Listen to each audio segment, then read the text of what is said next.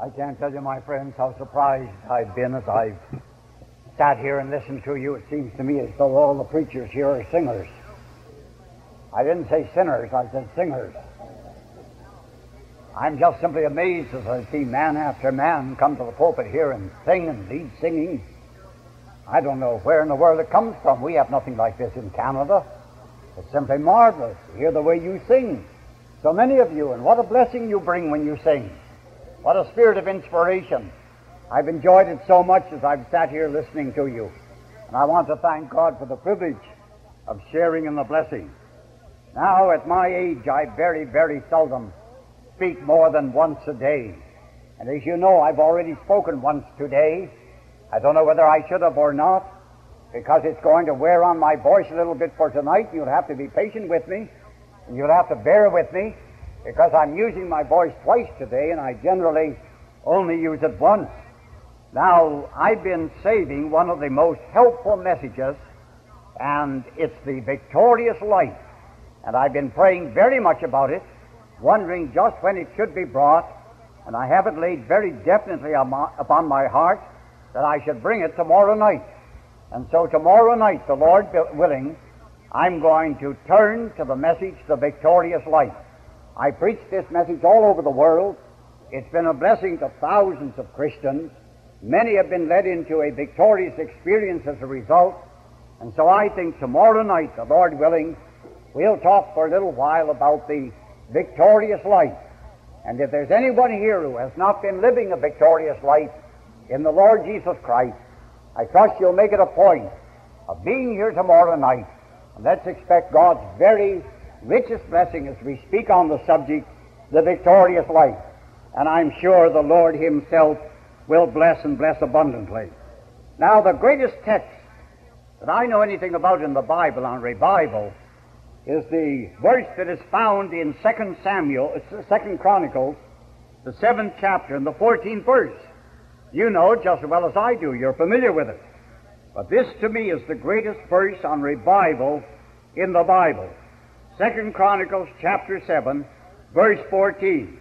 If my people, speaking to the people of God now, if my people, which are called by my name, shall humble themselves and pray and seek my face and turn from their wicked ways, then, then will I hear from heaven, then will I forgive their sin, then will I heal their land. I say again, I think that's one of the greatest verses that you'll find in the Bible on revival. Now, tonight I'm going to try to answer the question how can we have revival today? I know that your hearts are hungry for revival. My heart has been hungry for revival for a great many years. I've seen revival in various parts of the world. I see little or no revival in Canada. I see little or no revival in the United States. I see many evangelistic campaigns. I see many crusades, but I see very, very little of old time, old fashioned revival. And tonight we're going to think about revival. And when I speak about revival, if I have time to deal with it, I deal with some of these points first of all. I say to begin with, a revival is not an evangelistic campaign. And I take some time to show the difference between a revival and evangelistic campaign. We have many evangelistic campaigns all over the world today, but we see very, very little of revival. Well, I haven't time tonight to deal with that phase of revival. And then sometimes I say a revival is a manifestation of God's power. A revival is a manifestation of God's power. You can hold an evangelistic campaign. It can all be carried on in the energy of the flesh and no power of God whatever. But when it comes to revival, there's a manifestation of God's power. I haven't time tonight to deal with that very important phase of revival. Then I say a revival always produces deep conviction of sin. I think that's one of the differences between an evangelistic campaign and revival. You can go right through an evangelistic campaign and have little or no conviction of sin. But when there's revival, there is always conviction of sin. And then I say a revival is not dependent on human leadership and sermons. And that's very, very important to realize that revival is not dependent on human, human leadership or upon sermons. When I was over in Wales, I made it a point to go and visit Evan Roberts. Evan Roberts, you remember, was the great revivalist of Wales in the year 1904, 1905. But you know, Evan Roberts never preached. He would simply go to the meeting where the revival was going on. He would just give a few words of testimony. He would only speak for five or six minutes, and then he'd go on to another meeting. But as a result of those few words, revival broke out on every side without a sermon of any kind whatever, without a preacher, just because God was there. And revival swept through Wales like a prairie fire. Then I say a revival is not limited to time. I think very often we do not give God time for revival. We're in such a hurry to get to the next place that we do not give God an opportunity of breaking out in revival. Sometimes we have to stay a little longer in order to get revival. Now, when I come to the next point, I'm going to pause, and this is what I want to talk about tonight. A revival is the result of a price paid. A revival is the result of a price paid. It costs to have a revival. I've learned that from personal experiences, as well as from the experiences of others. It costs something in order to have revival. It's the result of a price paid. Otherwise, there can be no revival. Now, what is the price that has to be paid? First of all, we must get right with God. That's where we've got to start. We must get right with God. And I'm talking now about the Christians who want revival. We must get right with God. Then I always point out that we must travail in prayer. There never has been a revival without travail in prayer. Then I also insist that we must preach the Word and that there be no revival unless we preach the Word. Not what man has to say, but what God has to say. And then we must work in the anointing of the Holy Spirit. We must work in the anointing of the Holy Spirit. Well, now let me go back over this outline. Let me say some things about it. First of all, we must get right with God. When I was converted, I was living in a country home 100 miles from the city of Toronto, Canada. My father was a station agent, and we lived in a railway station. Of course, we didn't know anything much about church. We hardly ever got to church. We hardly ever saw a church. We hardly ever saw a Sunday school. I can't remember the inside of a church more than three or four times in all the days of my boyhood as I lived in that station at Embro. But you know, one time we started reading in the newspapers about a great evangelistic campaign that was being held in the city of Toronto, Canada, 100 miles away. And you know, the entire sermon was published every day in the newspaper. And the hymns, even the hymns, words and music were also published in the newspaper.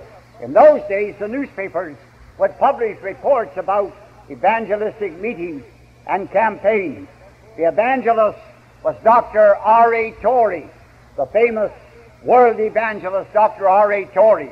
His song leader was Charles M. Alexander. Now, I didn't know anything about an evangelist.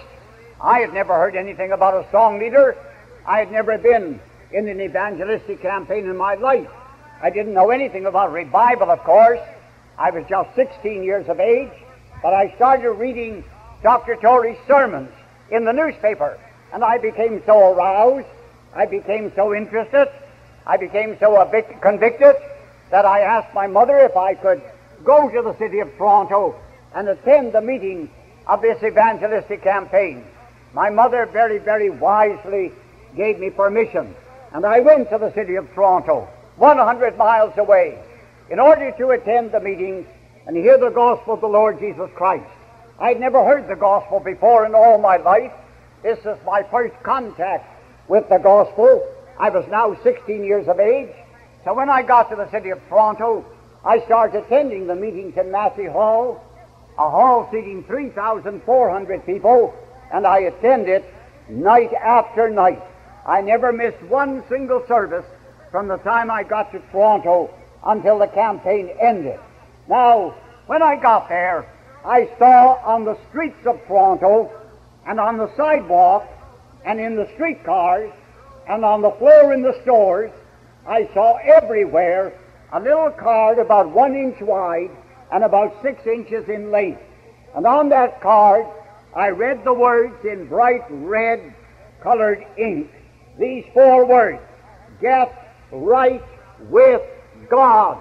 And you know, those little cards have been printed by the evangelistic party, tens of thousands of copies of them, and then the people just took them all over the city of Toronto and they just threw them down on the street. They threw them down on the sidewalks. They threw them down on the floors in the stores. They threw them down in the streetcars. They threw them down wherever they went. They just threw them away as they walked here and there through the city. Now, it didn't matter which way they fell because the same words were printed on both sides. So, no matter which way they fell, as people walked along, they couldn't help seeing those words get right with God. I can't tell you what that meant to the city of Toronto. The whole city was stirred. Trains were bringing people in from 200 miles around.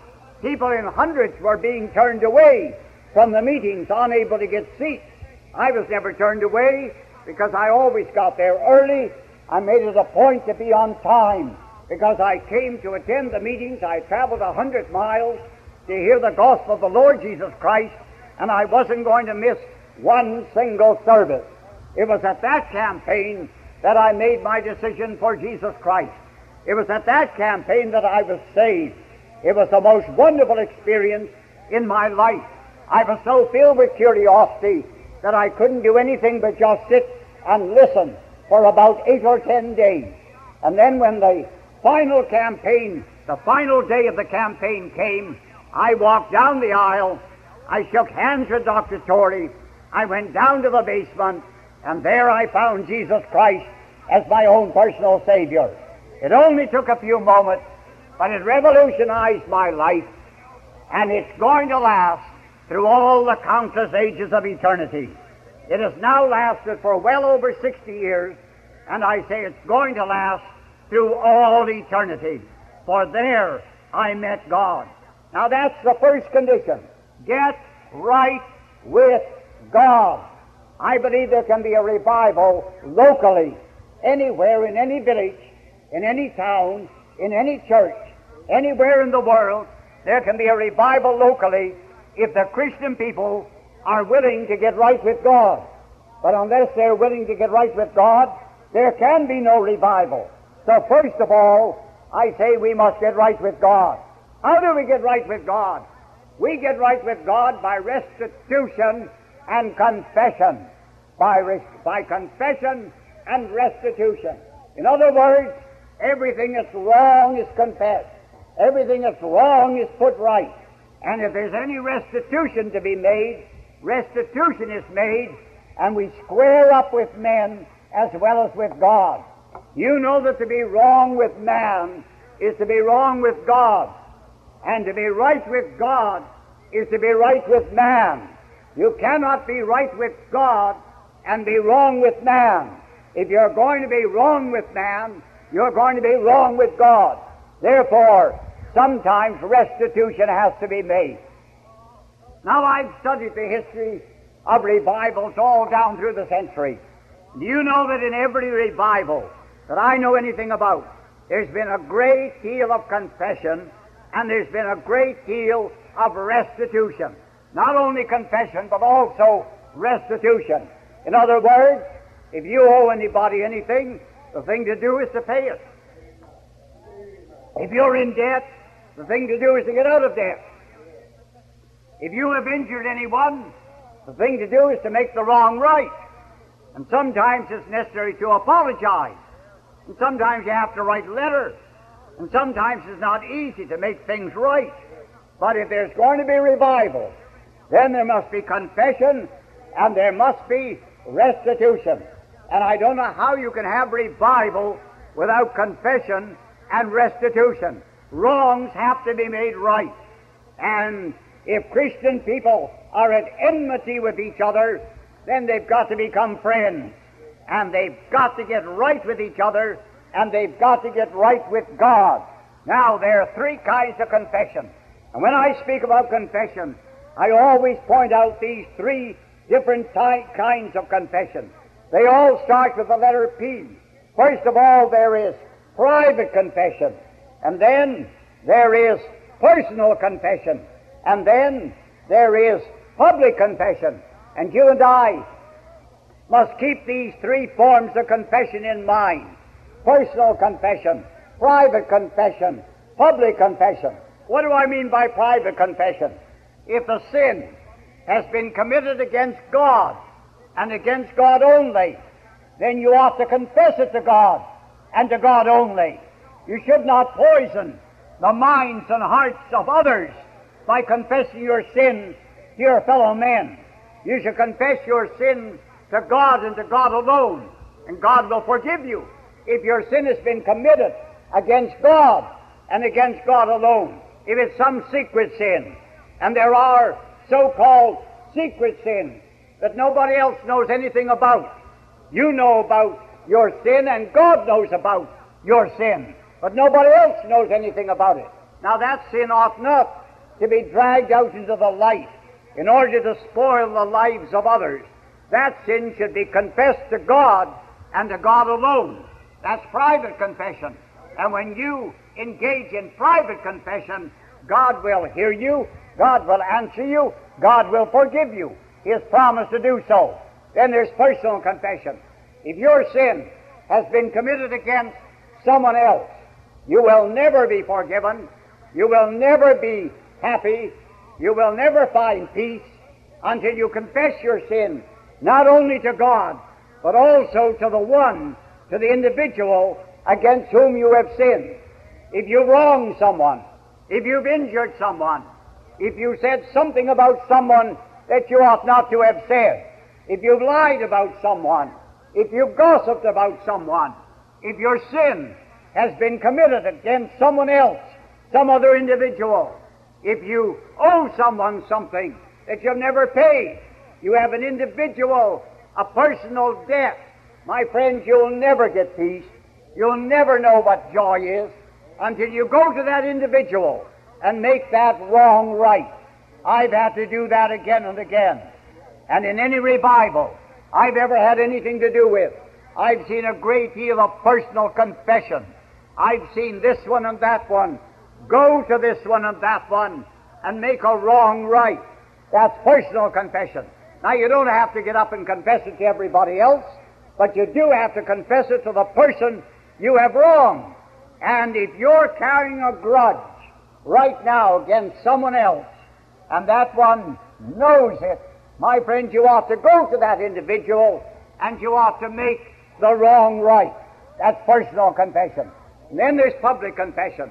If your sin is known by everybody, if it's com- been committed publicly, if the whole church knows about it, if you have, if you have affected other lives, then there'll have to be a public confession. If it's a public sin, there should be a public confession. If you've done something that everybody's talking about, everybody knows about, everybody's aware of, everybody's familiar with, my friend, you'll not get very far until you get the courage to stand up before the entire congregation and make a public confession. For if your sin has been committed publicly, it ought to be confessed publicly as well. Now, these three kinds of confessions we ought to pay attention to. Private confession, personal confession, public confession.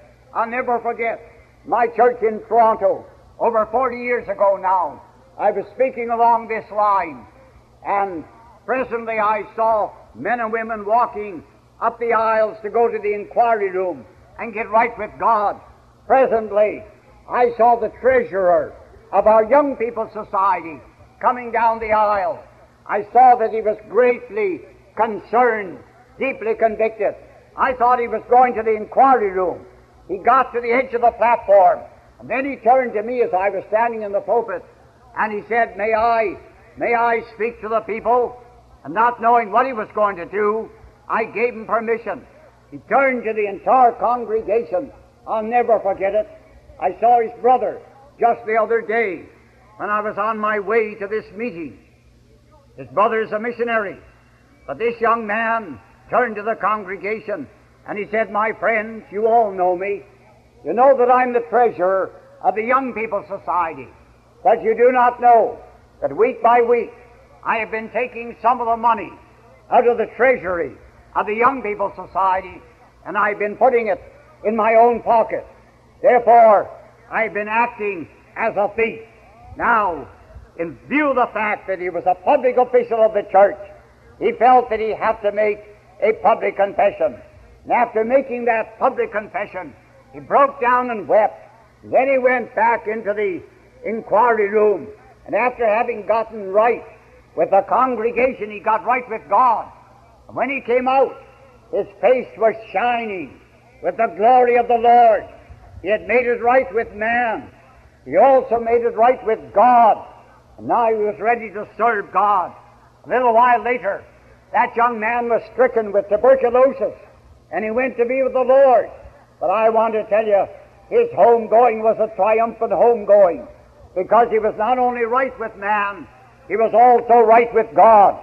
So I say, if we're going to have revival, we'll have to pay the price of getting right with God. Now, in the second place, I've never known of revival unless there has been travail in prayer. I wonder if you know what I mean when I talk about travail in prayer. You know, sometimes Charles G. Finney, the great revivalist, tried to pray. He couldn't even utter the words. He would just groan aloud. He was travailing in prayer. The burden was so great. He knew what it was to travail before the Lord. You know, in the days of revival in Toronto, Canada, in the early years of my ministry, we used to set aside every holiday as a day of prayer. If the government of our country proclaimed a certain day as a holiday, we always set aside that day as a day of prayer.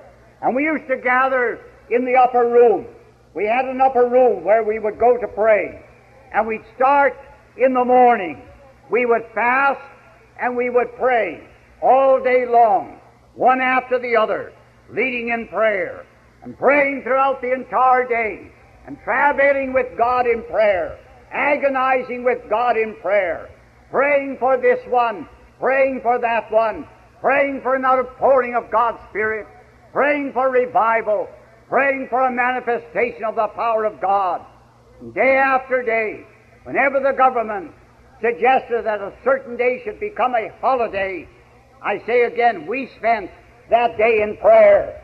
We used to learn what it meant to travail in prayer. You know, the early Methodists knew what it was to travail in prayer. They used to get up at four o'clock in the morning, and they used to spend some three hours in the presence of God, travailing in prayer. I don't know how there can be a revival without travail. A child can't be born without travail. How can we expect souls to be born without travail?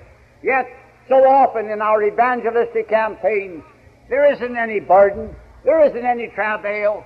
We stand on the platform where we beg and coax and entreat people to come to the Lord. And then when someone walks down the aisle, smiling as he comes, we thank God and think something great has been accomplished. My friends, I like to see revival where there's weeping, where there's travail, where there's a burden, where men and women become conscious of their sin. And only as you and I, as Christians, travail in prayer, will men and women be convicted of sin, and will they be brought to the Lord Jesus Christ. There must be travail in prayer. And then there must, there must be the preaching of the Word. What does God say about His Word in connection with the revival? He says His Word is a hammer and a fire and a sword. Now, what does a hammer do? A hammer breaks. What does a fire do? A fire burns. What does a sword do? A sword cuts. That's exactly what the Word of God does. The Word of God burns. The Word of God breaks. The Word of God cuts. That's the mission of the Word of God. And therefore, when we want revival, we're going to have to preach not our Word, but God's Word. You know there are just five subjects that are dealt with in revival. All down through the history of revival, I've discovered that there are five subjects that are dealt with when, when there's revival, because these are the five subjects that produce revival. First of all, sin and salvation. Those are the first two subjects that are dealt with. And you can't have a revival without preaching on sin. If you try to avoid sin, if you want to whitewash sin, if you want to look lightly upon sin, if you want to consider sin of no great importance, you're not going to have revival. Sin is a terrible thing in the sight of God. It was sin that sent your Savior to the cross, nailed him on Calvary's tree. And so there must be the preaching of sin, preaching against sin, the exposing of sin. And every time there's revival, there is the preaching about sin, but also salvation, the remedy for sin. Not only the need of salvation, but the remedy for sin, which is God's salvation. And I find in every revival there is preaching on sin, there's preaching on salvation. Then I find that in revival there is always preaching on heaven and hell. Always on heaven and hell. Something is said about heaven, something is said about hell. And for some reason, when you and I preach on heaven and hell, the Holy Spirit uses it to bring conviction and salvation and to turn men from darkness to light. There's a heaven to gain, there's a hell to, to uh, avoid and shun, and you and I will have to speak about heaven and hell. And then, last of all, a great deal has to be said about eternity. You'll find that every revivalist talks a great deal about eternity. There is a future life. There is an eternity. You and I are heading for that future life. You and I are going into eternity. Where are we going to spend it? What kind of, e- of an eternity is going to be ours? Is it going to be an eternity in bliss or an eternity in suffering and in pain? And so we have to deal with heaven and hell, sin and salvation. Then we have to deal with eternity. Then, in the fourth place, if there's going to be revival, we must work in the anointing of the Holy Spirit. You know that all down the centuries, God has anointed men with the Holy Ghost. The Holy Spirit has come upon men, and anointed men have gone out to proclaim the message of God's salvation. There must be the anointing of the Holy Spirit. Jesus said to his disciples, Don't start your work until the Holy Spirit comes. Tarry in Jerusalem. Wait until the promise has been fulfilled. The Holy Spirit is coming. Don't attempt to do anything until He comes. And then when He comes upon you, then you can go out in the anointing of the Holy Spirit and accomplish wonders for God. There must be the anointing of the Holy Ghost. You remember, you remember D.L. Moody, I suppose the greatest evangelist of all time. I remember I was in Chicago working with Paul Rader a great many years ago. I've worked a great deal with Paul Rader. I've taken over his work many a time, preached in his great tabernacle to those thousands of people that used to gather. And Paul Rader has often come to my church in Toronto and has often preached for me. Now, of course, he's in the glory land. His work is done on earth. He has finished his course. But I was with Paul Rader in Chicago, great many years ago now. We were holding meetings in the Loop, right in the center of Chicago, and the place was packed to capacity, noon hour after noon hour. And I remember sitting on the platform there while Paul Rader was preaching to look down at the congregation. And I used to see a little old woman sitting in the front seat, right at the front, sitting there taking it in, drinking it in, listening to everything that we said. Her name was Anne Cook. Anne Cook.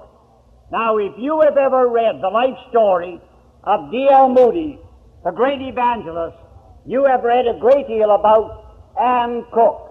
One day when D.L. Moody was carrying on his work in Chicago, and he was facing great crowds, day after day, at one of the biggest Sunday schools in Chicago, he had great masses of people attending his ministry, listening to his messages. One day, at the close of one of his messages, this little old lady, Anne Cook, and her sister approached the D.L. Moody, and they said, Mr. Moody, we're praying for you. And Moody stopped and looked at them. He said, You're praying for me? Why are you praying for me? Why don't you pray for these people? These people need your prayers.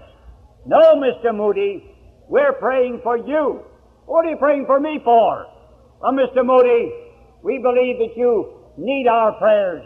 We believe that you need the anointing of the Holy Spirit.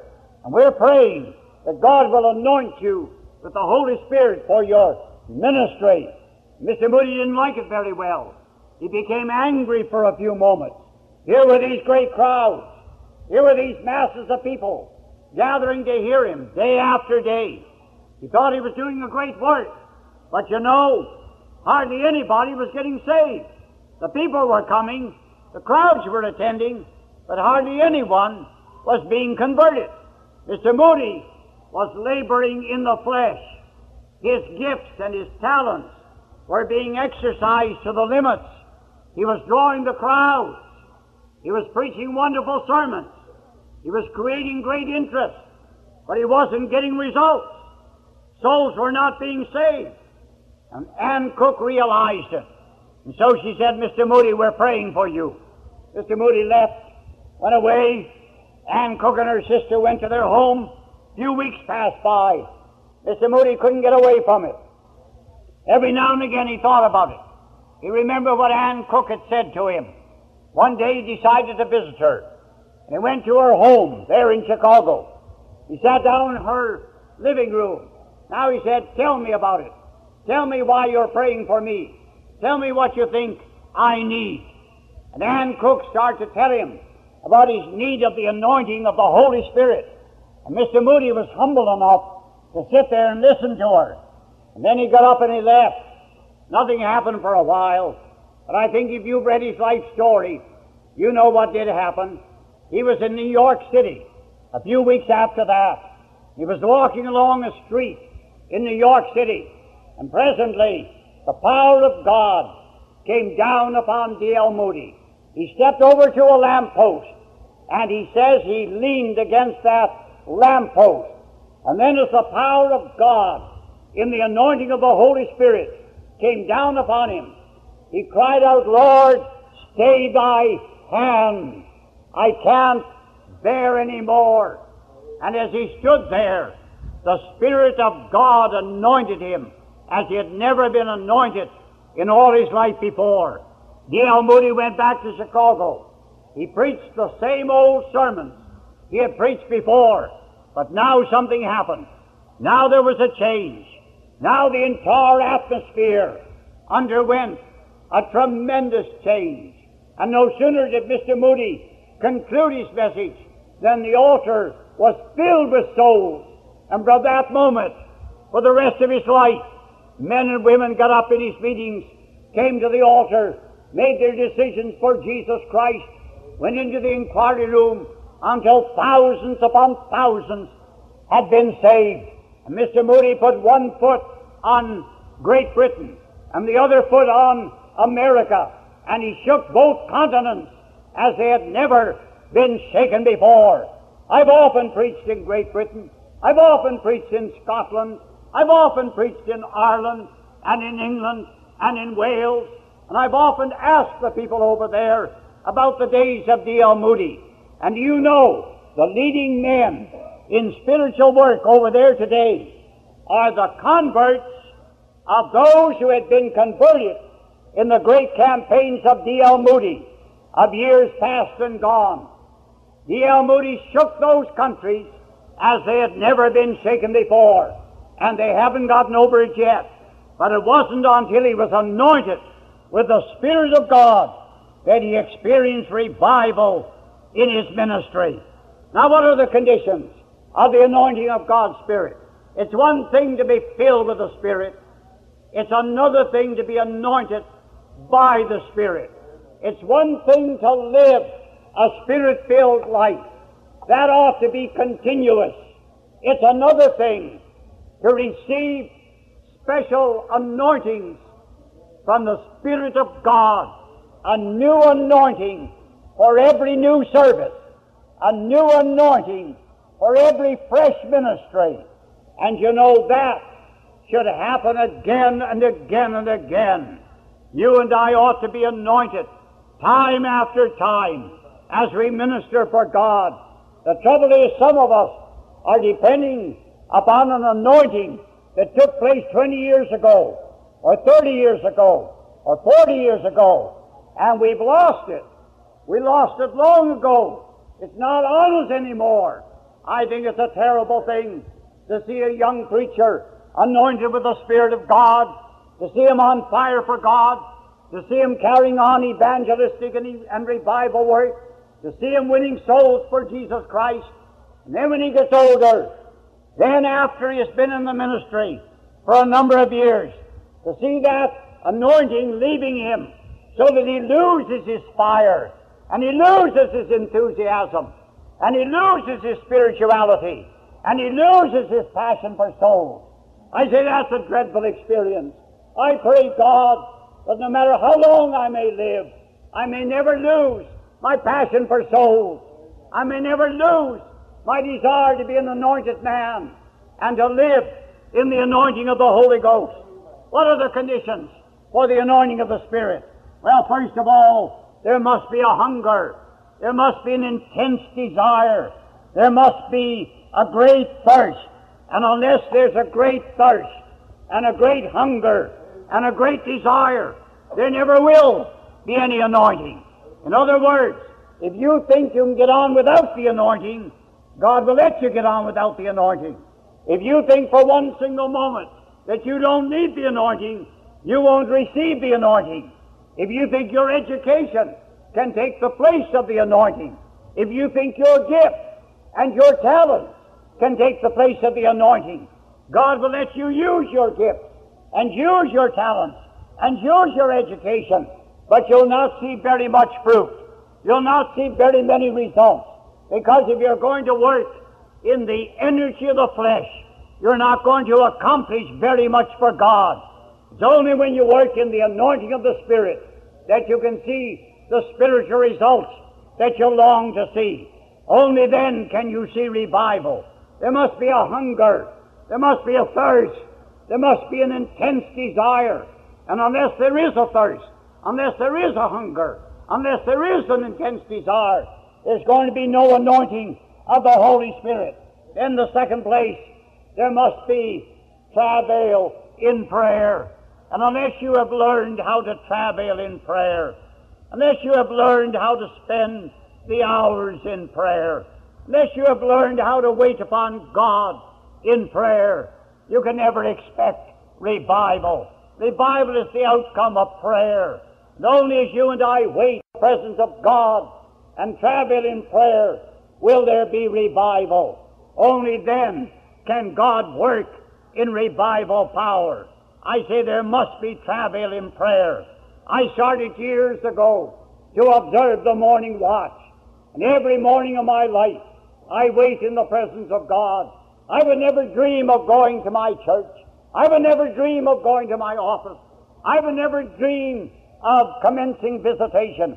I would never dream of doing anything until, first of all, I had met God. I want to meet God before I meet man. I want to solve my problems before I come to them. And therefore, every morning, after I pore over the Word of God, after I spend time on the Word of God, then I turn to prayer and I pour out my heart before God in prayer, morning by morning. And I've done it for well over 50 years now. I would never dream of missing a morning. Let me ask you a question. Has there ever been a day since you were saved? Has there ever been one single day since you were converted when you've neglected the book? Have you ever allowed a day to go by without turning to the Word of God and poring over the sacred pages of God's Word? I can only remember one day in the last 50 years. I can only remember one day when I failed to open the Word of God and pore over the sacred pages of this book. And on that day, I was very, very sick, and I was flying across the ocean, and I did not turn to the Word of God on that day. But every other day, 365 days of the year, morning by morning, I pore over God's Word, and then I give myself to prayer, and I pray out all my problems. I pray out all my burdens. I never think of going to my work until first of all I have agonized with God and I poured out my heart in prayer. And if I have a special problem, if I have a very special problem, I always take it to God at the midnight hour when everything is quiet. I get alone with God at the midnight hour and I walk the floor and I pace back and forth as I pour out my heart to God at the midnight hour until at last He answers my prayer and I get, I get the answer that I'm looking for.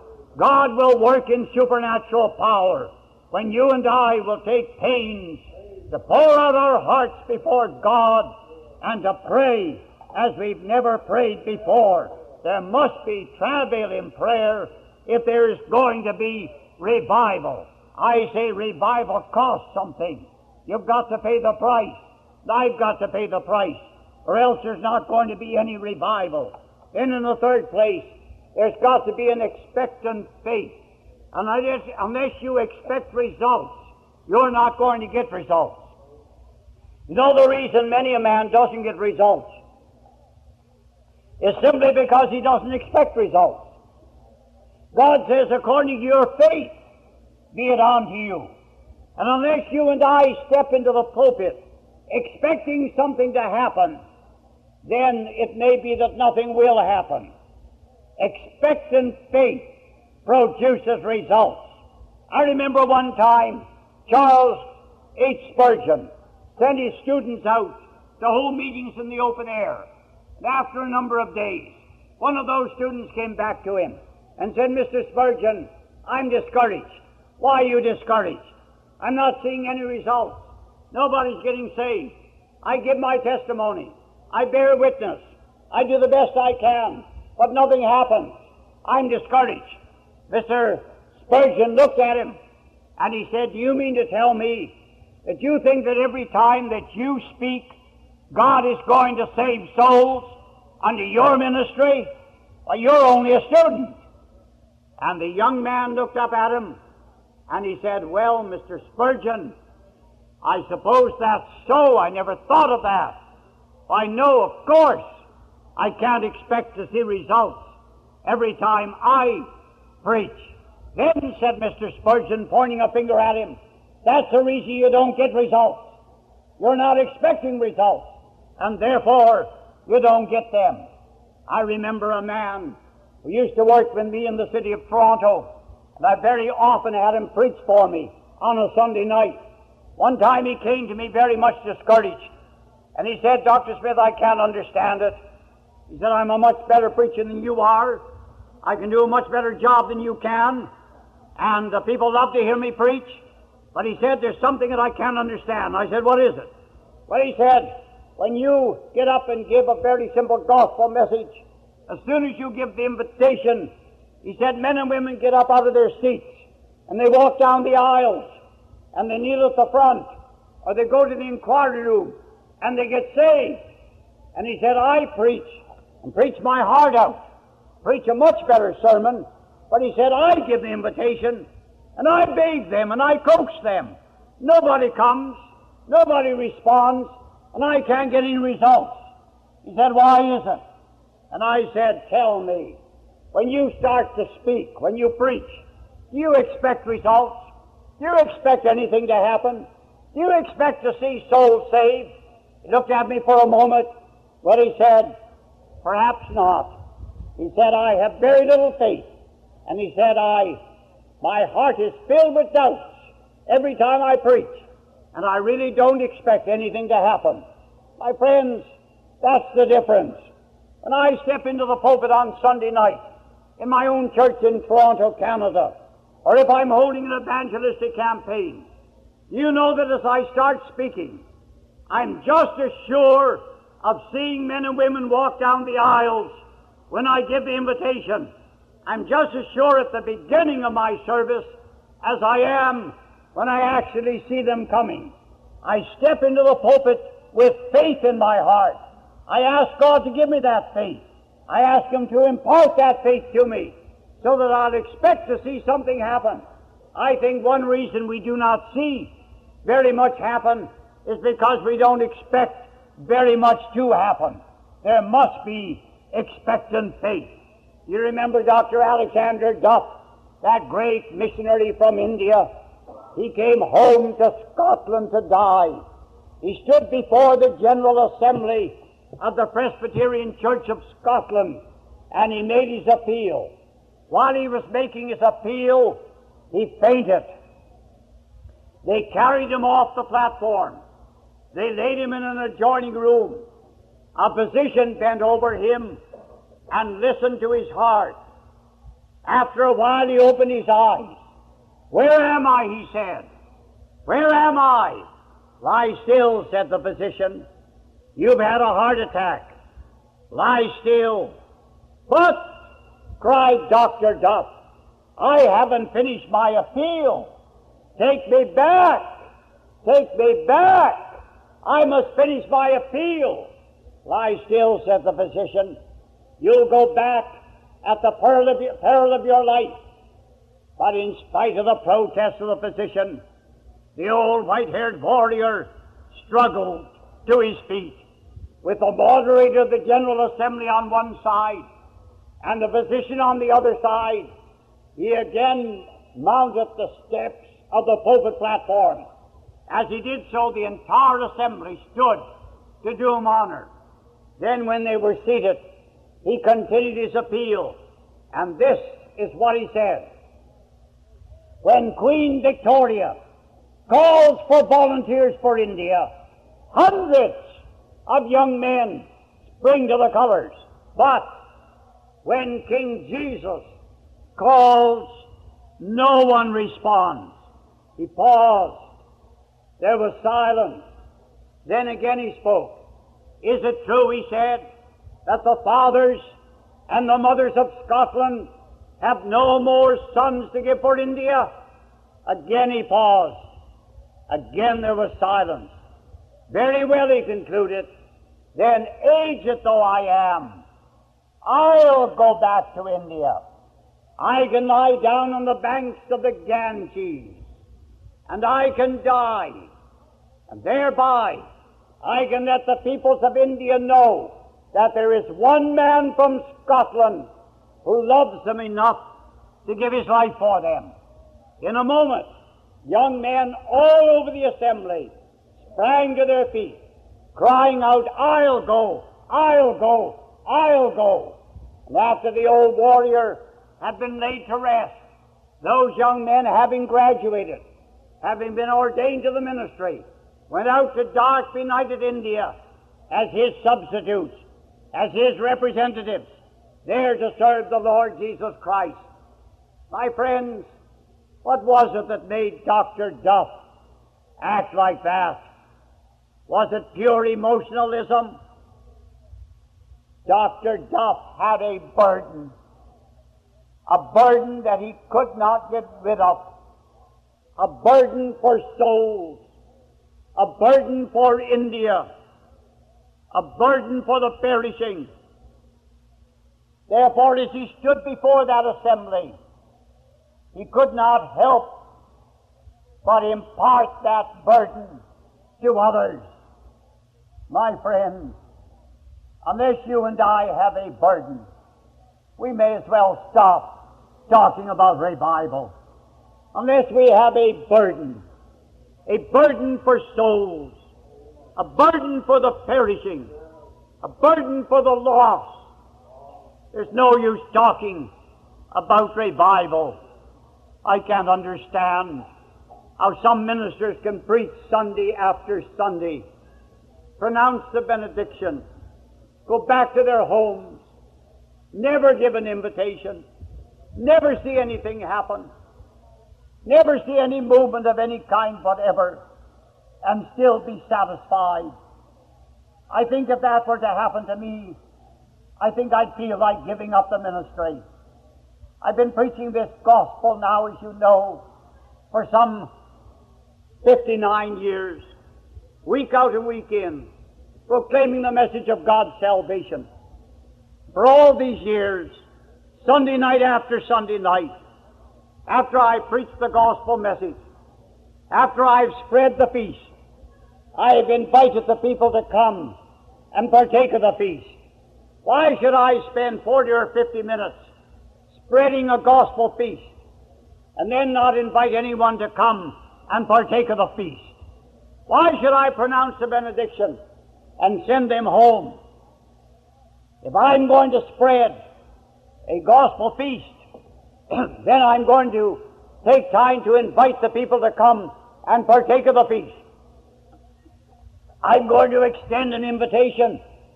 And listen, I can hardly remember a Sunday night in the last 40 years of my ministry when men and women have failed to walk down the aisles to decide for Jesus Christ. Every Sunday night, week out and week in, as I've extended the invitation, with but few exceptions, men and women have gotten up out of their seats, have walked down the aisle, have made their decision for Jesus Christ. Souls have been saved continuously. But I don't know how I could be satisfied unless I could see souls saved. Yet I know ministers whose children have never been saved, and they don't seem to be burdened. Talk about revival. Some of us haven't even a burden for our own children. I have three children, two boys and a girl. My eldest son is a medical doctor, specialist. When he was nine years of age, he came to me one day after I'd preached, and he had been listening. He was weeping and sobbing as though his heart would break. And I said, What's the matter, Glenn? He said, Daddy, I want to get saved. I'm lost. I want Jesus. His mother and I knelt down with him right there. We led him to the Lord Jesus Christ, our eldest son. He was saved when he was nine years of age. My daughter was saved when she was ten years of age. She too came to us under my ministry and said she wanted to know Christ. And we led her to the Lord Jesus Christ. And ever since then, she has been serving Him. My youngest son was only five years of age when I was preaching in the great campaign on the Pacific coast. And he and his mother were sitting there in the congregation. At the close of my message, I gave the invitation. I can't tell you how I felt when I saw my own little son, only five years of age, leaving his mother and all by himself walking down that long, long aisle and kneeling at the front opening his heart to Jesus Christ and receiving him as his own personal Savior. And now he's the pastor of the People's Church in Toronto, Canada. Now he's preaching to more than 2,000 people every Sunday morning every Sunday night. And he was converted when he was only five years of age. I never forget the children. I know that God can work in the hearts of the children as well as in the hearts of the adults. I say I can't understand how any man or any woman can have unsaved children and never have a burden. Never be burdened. I can't understand it. I think I would go crazy if my children didn't know Jesus Christ. If I wasn't sure that my children were going to spend eternity with me in heaven, I don't know what I'd do. The burden would be so great. And yet there are some of us who have unsaved children, unsaved brothers, an unsaved wife, an unsaved husband, an unsaved friend. We haven't a burden. And then we wonder why there's no revival. My friend, I don't believe there'll ever be revival in any church until there's a burden for souls. Until you and I become conscious of that burden. Until we can't live. Until we see something happen for the Lord Jesus Christ. But I believe if we'll reach, if we'll re, if we'll meet these conditions, if we'll get right with God, every one of us, if we'll get right with God, if we'll spend time in travailing prayer, if we'll preach the Word, if we'll work in the anointing of the Holy Spirit, and if we'll have a burden for souls, I believe there can be revival.